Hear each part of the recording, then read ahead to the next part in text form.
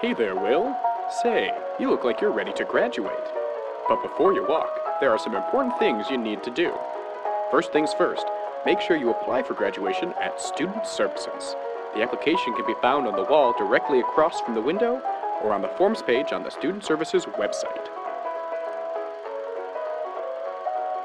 The Student Services advising staff will review all of your records and make sure you're on track to graduate. They'll even send you a list of your remaining requirements. Make sure you take a look at this and register for your classes accordingly. Before you know it, the year will fly by and you'll be ready to enter the real world.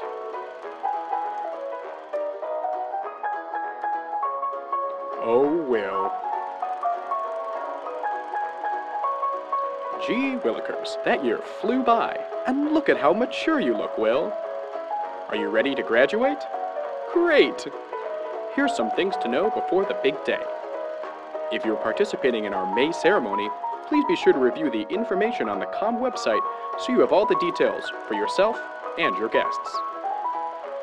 When the big day finally arrives, head over to Agganis Arena one hour before commencement and enter through the Feld Public Skating entrance right across from BUPD.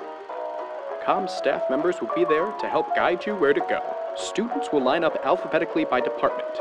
Your walk card will have all your information on it, including a number. Make sure to find people with similar numbers so you can line up appropriately.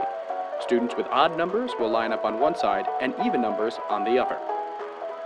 Now, all you have to do is process in, walk across the stage, and then recess out after the COM faculty. Oh, and don't forget to smile for pictures. Congratulations, Will. You did it. Now, go out there and make us proud.